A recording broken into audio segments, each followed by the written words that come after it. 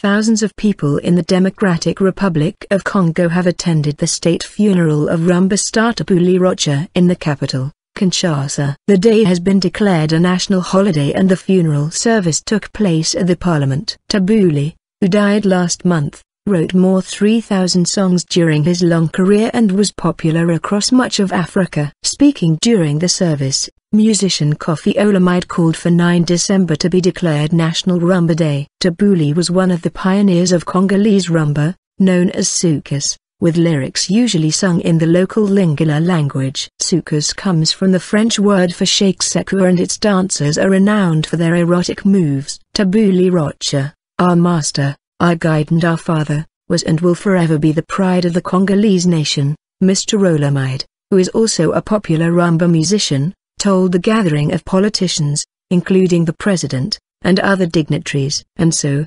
respectfully, we ask President Joseph Kabila and his government to officially make the day of Tabu Ley's passing the National Day for Congolese rumba and Congolese musicians. Inspiration I didn't go to school because I wanted to pay a tribute to Tabu Ley a monument of African music. Joachim Tabu Ley fan.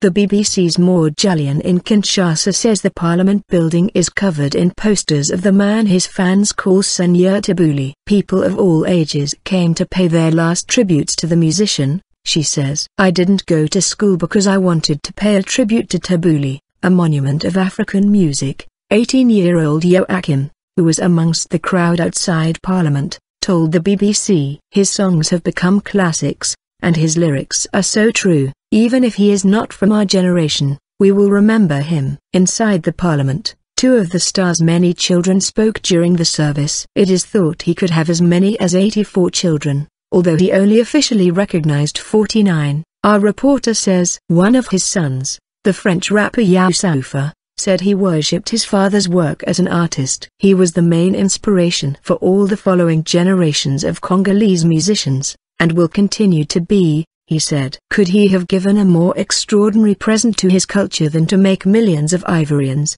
Gabonese, Chadians, and even Cubans, sing in Lingala? Tabu Ley was born in the western city of Bandundu more than 70 years ago. His exact date of birth is not known first singing in church and school choirs. His career took off shortly before the country's independence from Belgium in 1960 when he moved to Kinshasa. He went into exile in the 1980s during Sese Seko's long rule, returning after his overthrow in 1997. The musician then went into politics, serving amongst other roles as a deputy governor of Kinshasa and a provincial cultural minister. He died in hospital in Belgium on 30 November and had not been well for some time.